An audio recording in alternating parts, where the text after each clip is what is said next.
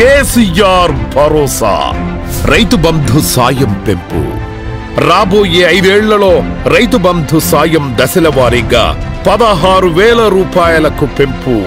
Car గుర్తుకే ఓటేద్దాం అభివృద్ధి సంక్షేమ పాలన కొనసాగిద్దాం.